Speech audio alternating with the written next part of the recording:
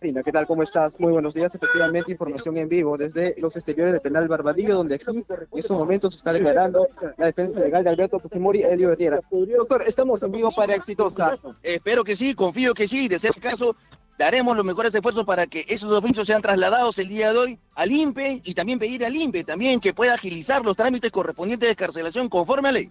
Doctor, estamos en vivo para Exitosa. En estos momentos, ¿cuál es el procedimiento que se está siguiendo para la excarcelación del expresidente Alberto Fujimori?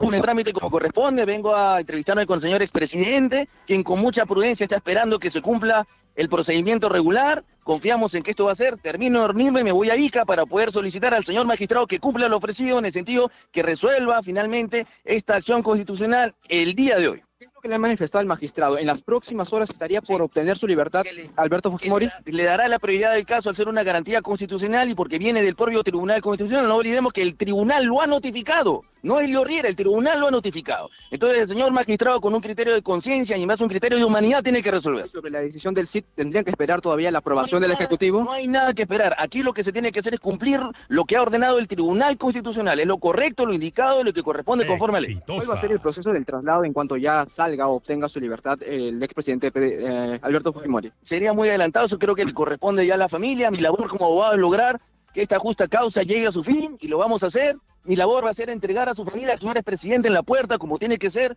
por el agradecimiento que le tengo y la confianza que le tengo. ¿En cuánto tiempo calculamos que se pueda dar esta justamente libertad? máximo mañana, esto ya depende del señor magistrado, quien le pido que con criterio de humanidad y que conciencia resuelva inmediatamente esta causa.